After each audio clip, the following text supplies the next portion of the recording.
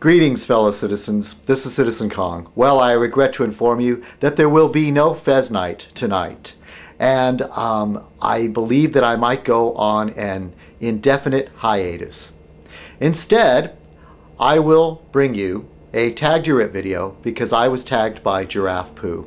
So I hope this will be, in some ways, a, um, a reasonable substitute for Fez Night. I know it doesn't quite measure up to an actual Fez Night. And for Giraffe Poo, your suggestions for my five, uh, five tag it items was very amusing, but I decided to go a different way. Okay? Alright, this is Citizen Kong. Till next time, cheers. This is Citizen Kong speaking with five random things about me. I have a cat named Buster, and he won't sit still or let me film him. there he is.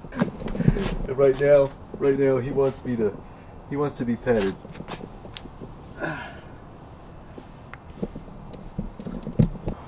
When I can, I always line dry my clothes, and I almost always wear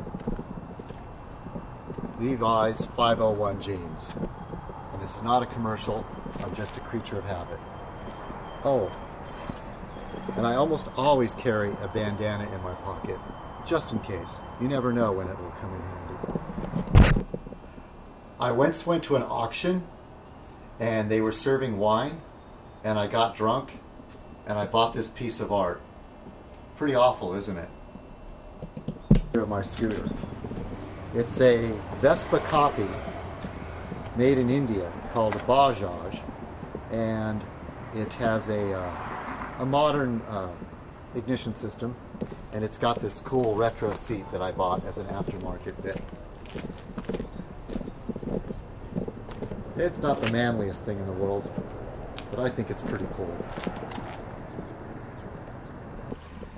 This is the most expensive piece of metalworking equipment that I ever bought. It's made in England and it's called a rolling mill. And what you can do with it is you can melt down, uh, I use it to melt when I melt down silver, or in this case I have a piece of pewter in here, melt it down and make an ingot, and then you can form it by turning this crank into,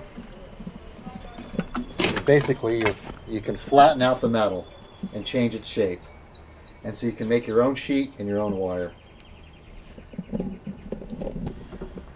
Okay, here's one example of, um, this is typical of me, that I start an art project and then I don't finish it and hopefully I go back to it in the future at some point.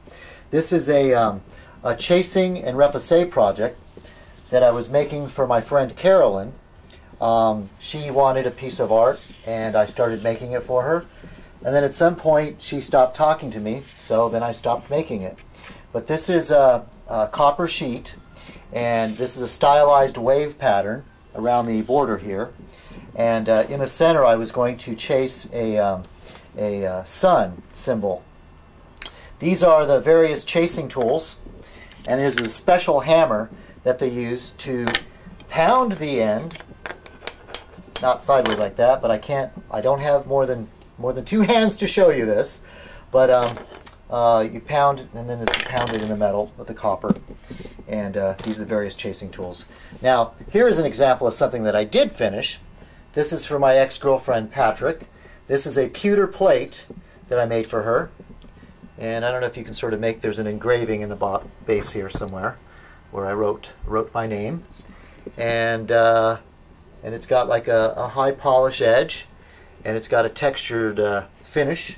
And this is solid pewter that I melted down from a scrap pewter and um, uh, pounded this out and made this for her. And uh, I mean, it could use it could use a few more things, but that's it. That was a plate. So that's an example of something that I did finish.